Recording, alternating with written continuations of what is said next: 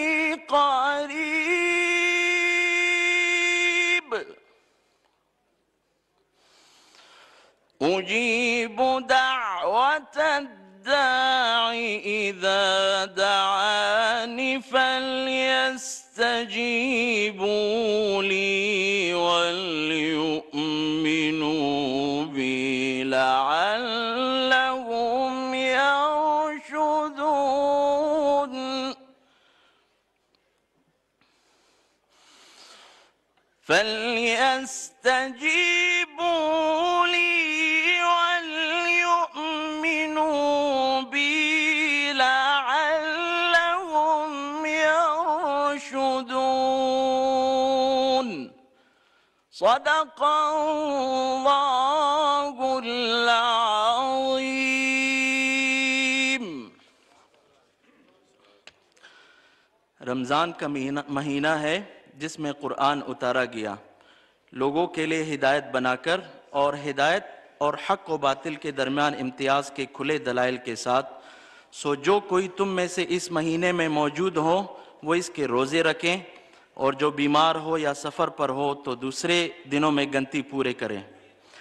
अल्लाह तुम्हारे लिए आसानी चाहता है, तुम्हारे साथ सख्ती नहीं करना चाहता और चाहता है कि तुम तादाद पूरी करो और अल्लाह ने जो तुम्हें हिदायत बख्शी है, इस पर इसकी बड़ाई करो और ताकि तुम इसके शुक्रगुजार बनो। और जब मेरे बंदे तुमसे मेरे मुतालिक सवाल करें तो मैं करीब हूँ, मैं पुकारने वाले की पुकार का जवाब देता हूँ। जब वो मुझे पुकारता है तो चाहिए कि वो मेरे हुक्म माने और मुझ पर ईमान रखे ताकि वो सही राह पर रहें बेशक अल्लाह अजीम ने सच फरमाया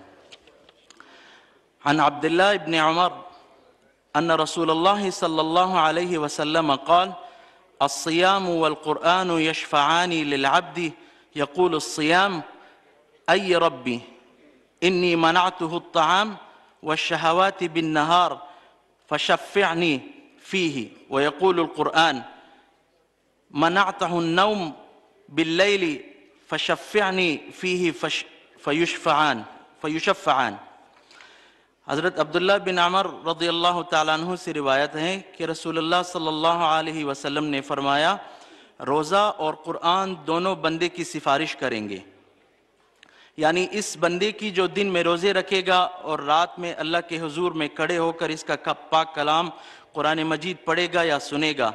रोज़ा अर्ज़ करेगा, ए अल्लाह, मैंने इस बंदे को खाने, पीने और नफ्स की ख्वाहिश पूरा करने से रोके रखा था। आज मेरी सिफारिश इसके हक में कबूल फरमा और इसके साथ मगफरत और रहमत का मामला फरमा और कुरान कहेगा कि मैंने इसको रात को सोने और आराम करने से रोके रखा था। खुदावन आज इसके हक में मेरी सिफारिश कबूल फरमा और इसके साथ बख्शिश और इनायत का मामला फरमा।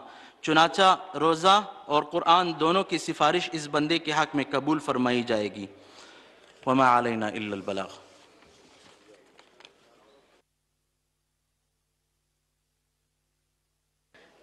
कुछ नहीं माँगता शाहों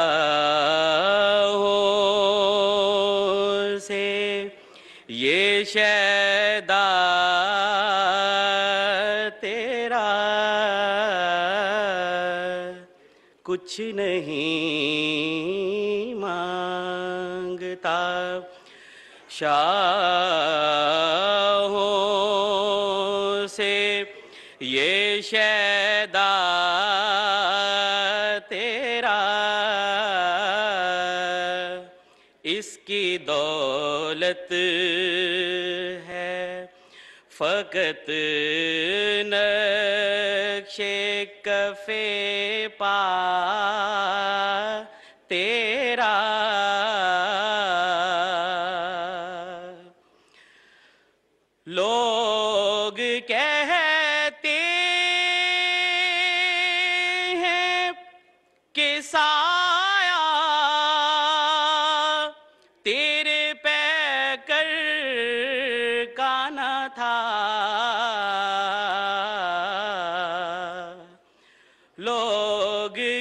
कहते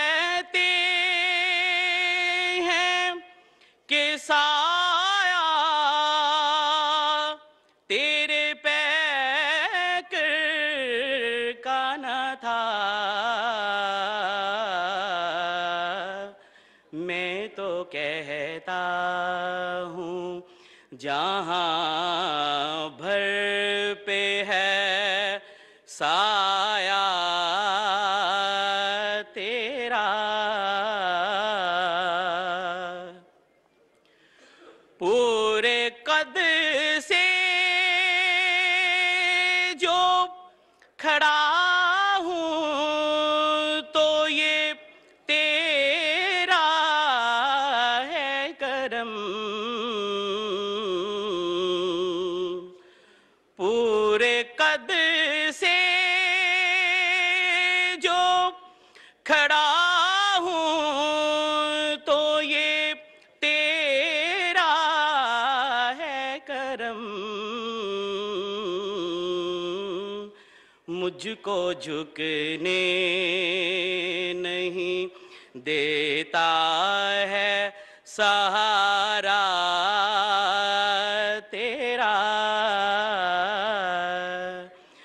मुझको झुकने नहीं देता है सहारा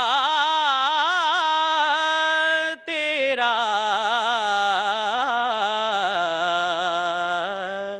कुछ नहीं माँगता शाहों ये शैदा तेरा।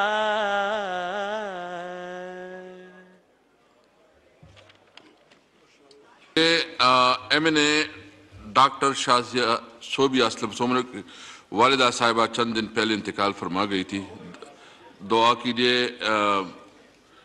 चित्रानी साहब जी, दुआ। जी, मौलाना साहब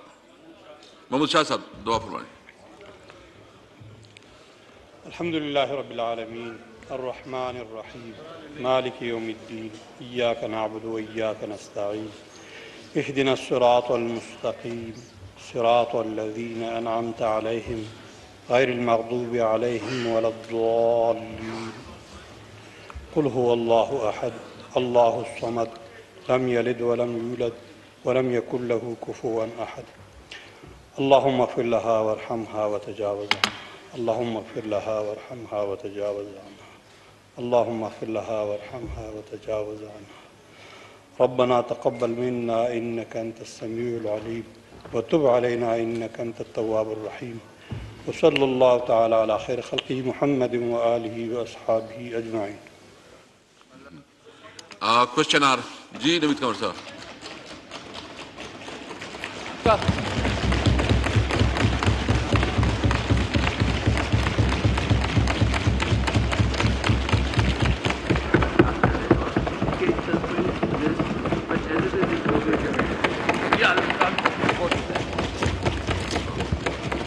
ji please sir अ, आज का ये जो इजलास बुलाया गया है।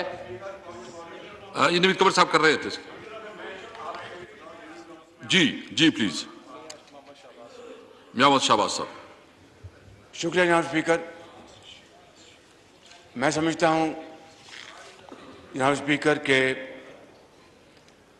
परसों पाकिस्तान की तारीख में एक ताबनाक दिन था। जब अदालत उस्मा ने आपके गैर आइनी इकदाम को, प्राइम मिनिस्टर इमरान खान के गैर आइनी इकदाम को, डिप्टी स्पीकर के गैर आइनी इकदाम को कदम करार दिया और नज़रिया ज़रूरत का सहारा नहीं लिया, बल्कि नज़रिया ज़रूरत को हमेशा के लिए दफन कर दिया और पाकिस्तान का मुस्तकबिल ताबनाक बना दिया।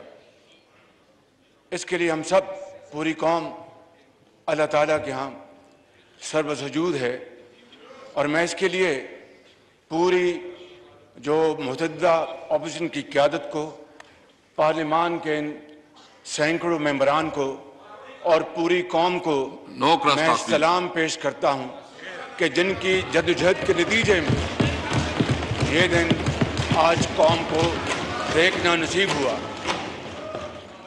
जनाब स्पीकर जनाब स्पीकर, मैं गुजारिश करना चाहता हूँ कि आज जो सुप्रीम कोर्ट का जो हुक्म है, जो ऑर्डर है, आप आज उसके ताबे आप हाउस की कार्रवाई चलाएँगे। इसलिए कि आज ये पार्लियामान एक नई रकम नई तारीख रकम करने जा रहा है।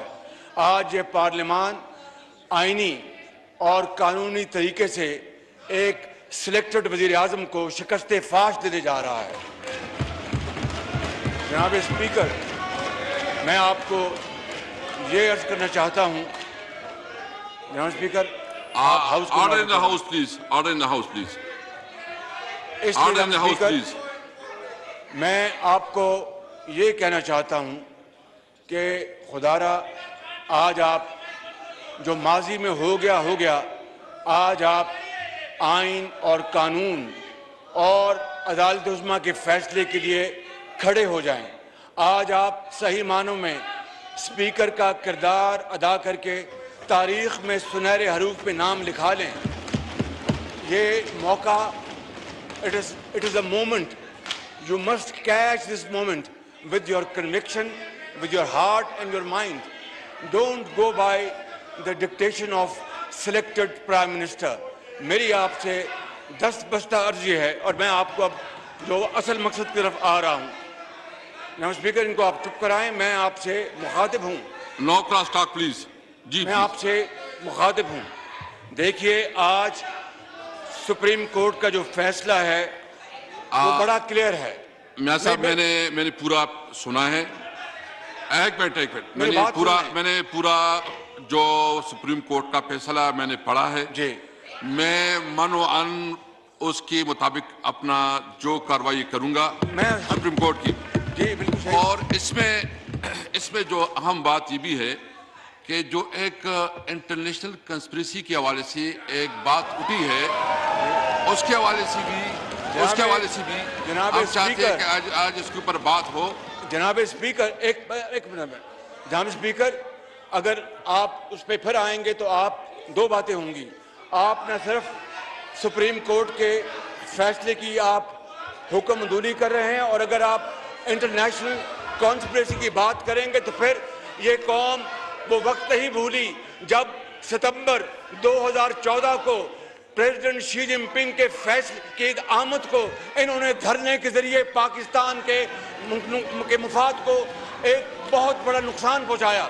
डोंट से दिस हम आपकी तरह पाकिस्तानी हैं। हमारे दिल दिल में पाकिस्तानी दिल धड़कता है। इनकी तरह नहीं कि जनाब, जब वो मिल के आए उसको ट्रंप को तो मैं एक सेकंड मैं वर्ल्ड कप जीत के आया हूँ और उसके बाद ये कहें कि एब्सोल्युटली नॉट नवाज़ शरीफ ने कहा था कि एब्सोल्युटली मिस्टर प्रेसिडेंट क्लिंटन हम पाँच अरब डॉलर आपसे नहीं लेते।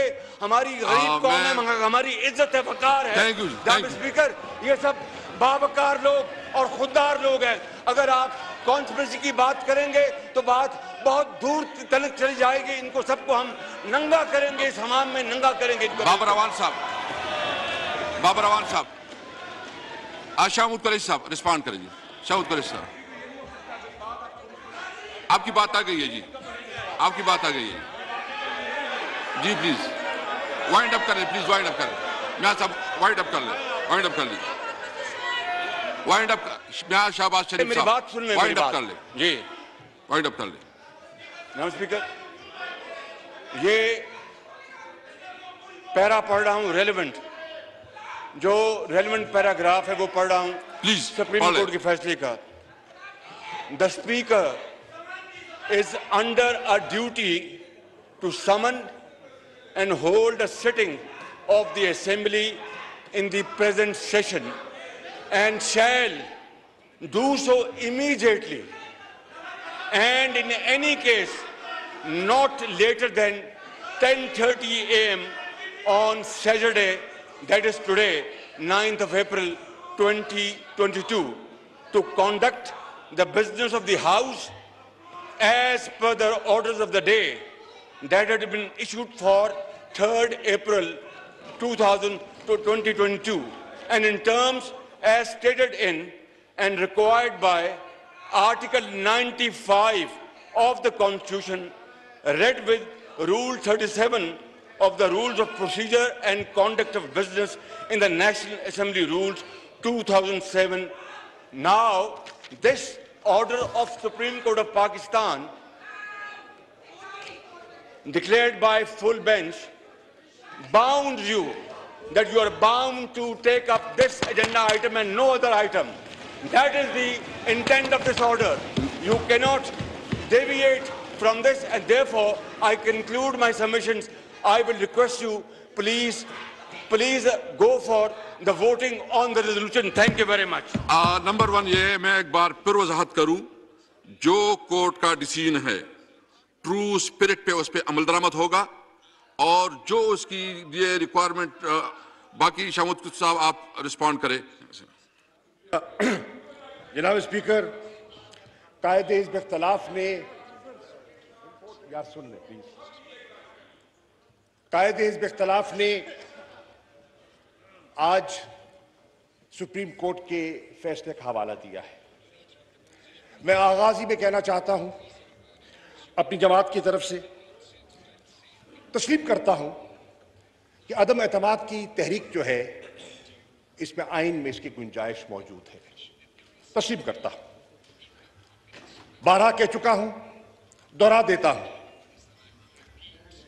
रिकॉर्ड के लिए कि इस तहरीक को पेश करना ऑपोजिशन का हक है और इसका दिफा करना मेरा फ़र्ज़ है। हम आईनी, सियासी और जमहूरी अंदाज में इसका मुकाबला करने का इरादा रखते हैं। वाला। मैं आज एक और चीज़ रिकॉर्ड पे लाना चाहता हूँ। और कौम को गवाह बनाना चाहता हूँ। कि आइन शिकनी मत नज़र न था, न है, न होगा। आइन का एहतराम हम सब पर लाजिम है। और जैसे कि वज़ीर आज़म पाकिस्तान ने कल कौम से खिताब करते हुए कहा कि बोझल दिल के साथ मायूस हैं, लेकिन सर हम तस्लीम सुप्रीम कोर्ट के फैसले को तस्लीम करते हैं। जनाब वाला पाकिस्तान की तारीख आइन शिकनी से भरी हुई है। कॉन्स्टिट्यूशनल वायलेशंस बदकिस्मती से हमारी तारीख का हिस्सा रही हैं। जनाब स्पीकर, मैं तारीख में जाने का इतना वक्त तो नहीं है, लेकिन जो हालिया, एक मेजर कॉन्स्टिट्यूशनल वायलेशन हुई। मैं उसका हवाला देना चाहूँगा। और कौम इस बात से गवाह है कि 12 अक्टूबर 1999 में आइन शिकनी हुई। आइन शिकनी हुई। और कौम इस बात की गवाह है कि जब आला अदलिया के सामने वो केस गया पीसीओ जजेस ये वो जो तारीख में जाने का वक्त नहीं है तो हमारी तारीख इस बात की गवाह है कि न सिर्फ़ जस्टिफिकेशन तलाश की गई, बल्कि जो प्रेयर मांगी ही नहीं गई थी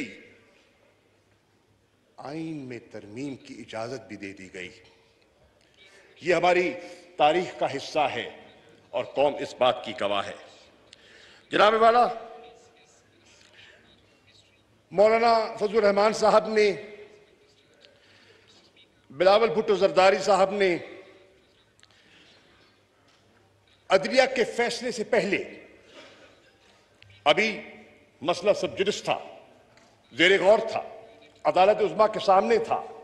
इन दोनों शख्सियात ने बयान दिए कि कोई नज़रिया ज़रूरत का फैसला हम कबूल नहीं करेंगे। ये इनका बयान है रिकॉर्ड पर है। बहरनो डॉक्टर ऑफ़ नेसेसिटी को दफन होना चाहिए था, और मैं खुश हूँ कि वक्त आ गया है कि पाकिस्तान की जमहूरियत ने इवॉल्व किया है। पाकिस्तान की जमहूरियत ने इवॉल्व किया है कि आज हम सब डॉक्टर ऑफ़ नेसेसिटी का सहारा लेने को तैयार नहीं है। जनाब स्पीकर, मैं आज कहना चाहूँगा इमरान खान साहब ने कल कहा, और उनकी इजाज़त से मैं आज बैसीत पार्टी के वाइस चेयरमैन के और बैसीत डिप्टी पार्लियामेंट्री लीडर के उनका मौके पेश करना चाह रहा हूँ, तहरीक इंसाफ का रिकॉर्ड लाना चाहता हूँ। तारीख के लिए, तारीख के औराक आज रकम हो रहे हैं, और तारीख के लिए मैं रिकॉर्ड पर लाना चाह रहा हूँ कि मेरा वज़ीर आज़म कहता है कि मायूस हूँ, लेकिन आला अदलिया का एहतराम करूँगा। मेरा वज़ीर आज़म कहता है कि जो अदलिया ने फैसला किया कि बरोज हफ़्ता साढ़े दस बजे इजलास बुलाया जाएगा और कायदे हिजब इख्तलाफ ने अभी पॉइंट ऑफ़ ऑर्डर पे नुकता उठाया और कहा कि आप पाबंद हैं, जिसकी आपने वजाहत कर दी, कि आप पाबंद हैं कि आपने आज ये अदलिया के फैसले के मुताबिक इजलास की कार्रवाई को आपने आगे बढ़ाना है। जनाब वाला, उसी के, उस फैसले के मुताबिक ही कार्रवाई बढ़ाई जा रही है। हफ़्ता है, साढ़े दस बजे इजलास का आगाज़ हो चुका है। आपने देखा कि अदलिया ने फरमाया कि ये इजलास जारी रहेगा और प्रोग नहीं होगा। तावक्ते के वो सारा जो प्रोसेस है आर्टिकल 95 रूल 37 का अपने हतमी अंजाम को नहीं पहुँच जाता। जनाबे वाला, हम उसको, उसकी पासदारी के लिए यहाँ हाजिर हुए हैं।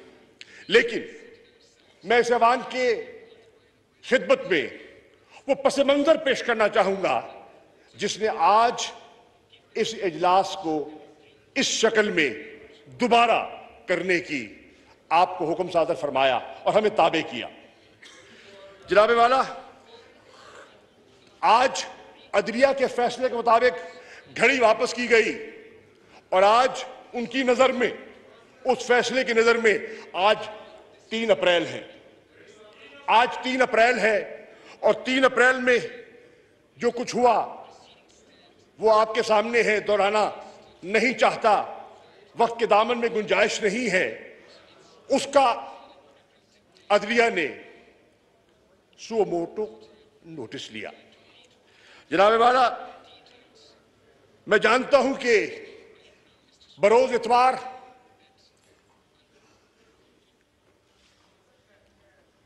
दफातर खोले गए, इजलास मुनद हुआ और कार्रवाई का आगाज़ हुआ। और फिर उसने इस ऑर्डर की शक्ल में अपना फैसला सादर फरमा दिया।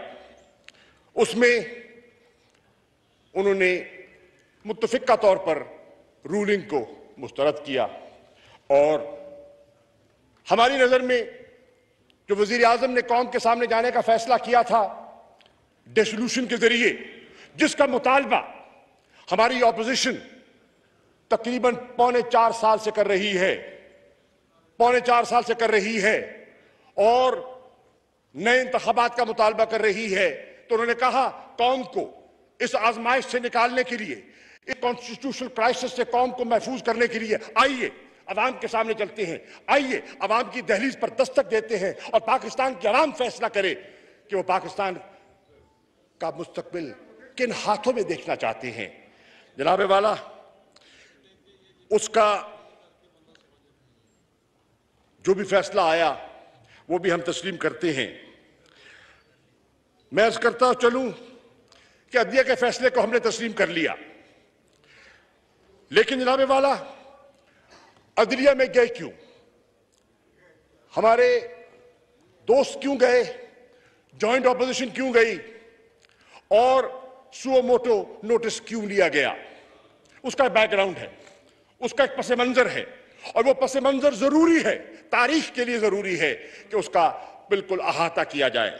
जनाब वाला, यहाँ जब डिप्टी स्पीकर चेयर कर रहे थे तो उन्होंने जो रूलिंग दी, जिन पर दोस्तों का एतराज़ था और अदिया का फैसला है, उसमें उन्होंने कहा यह इनकार नहीं किया। इस आईनी प्रोसेस से इनकार नहीं किया। उन्होंने कहा कि एक नई सूरत हाल ने जन्म लिया है। एक नई सूरत हाल मेरे सामने आई है और उस सूरत हाल को सामने रखते हुए मैं समझता हूँ कि जहाँ एक बैरूनी साजिश की बात हो रही है तो इसका प्रोब होना ज़रूरी है। यह उन्होंने कहा। और जनाबे वाला यह भी मैं रिकॉर्ड पे लाना चाहता हूँ कि नेशनल सिक्योरिटी कमेटी का फोरम एक आला तरीन फोरम है, जिसमें हुकूमत के सीनियर तरीन वजरा और अफवाज पाकिस्तान की नुमाइंदगी होती है। उस फोरम में वो मरासला जिसका ज़िक्र हो रहा है कौम में, और उस पर भी बात करना चाहूँगा मैं, उसकी बाज गश्त है, तूल उसकी बाश गश्त है। जनाब वाला, जब नेशनल सिक्योरिटी कमेटी उसी मरासले को, उस कम्युनिकेशन को, उस केबल को, उस साइफर को देखती है तो वो इस नतीजे पे पहुँचती है कि मसला संगीन है, मसला हसास है और दो ऑर्डर करती है। They two decision and I like to put those decision in front of the house one कि they acknowledge there was political interference in the internal matters of Pakistan. And, and a demarche must be issued. दफ्तर खारजा को हुक्म दिया जाता है instruct किया जाता है कि डिमाश करो इस्लामाबाद में भी करो वॉशिंगटन में भी करो और जनाबे वाला नेशनल सिक्योरिटी कमेटी के फैसले के मुताबिक दफ्तर खारजा डिमाश करता है इस्लामाबाद में भी करता है और वॉशिंगटन में भी करता है। दूसरा फैसला सादर करता है नेशनल सिक्योरिटी कमेटी का इजलास के पार्लियामान की जो नेशनल सिक्योरिटी कमेटी है, फिल फॉर उसको तलब किया जाए, उसको कन्वीन किया जाए और यह सारा मामला मुंतखब नुमाइंदों को यह सॉवरन हाउस है, ये अवाम जो है, ये पाकिस्तान की आवाम की तर्जुमानी कर रहा है तो उनके उस फोरम के सामने रखा जाए कि वो बात की बारीकी तक जाएँ और प्रोब करें और हकायक जानने की कोशिश करें। आप इजलास बुलाते हैं ऑपोजिशन को दावत दी जाती है। ऑपोजिशन का फ़र्ज़ था जनाब speaker this is not right this is not fair this is not fair ये वाइंड अप करें इसके बाद। दिस इज़ नॉट फेयर ये वाइंड अप कर ले। मैं साहब ये वाइंड अप कर लेना। ये ये वाइंड अप कर लेते this is not fair why why is nervous आप नर्वस क्यों हो रहे हैं? घबरा रहे क्यों हैं? मेरा ख्याल में- ना घबराएँ। सुन ले बात। ये वाइंड अप कर ले इसके बाद आप कर लीजिए घबराहट किस चीज़ की है? उजरत किस चीज़ की है? परेशानी किस चीज़ की है? जी। आ, मैं इस तरह करता हूँ। साढ़े बारह बजे तक साढ़े बारह बजे तक मैं इजलास एडजन करता हूँ। साढ़े बारह बजे तक। साढ़े बारह बजे जो है ना तक इजलास एडजन करता हूँ।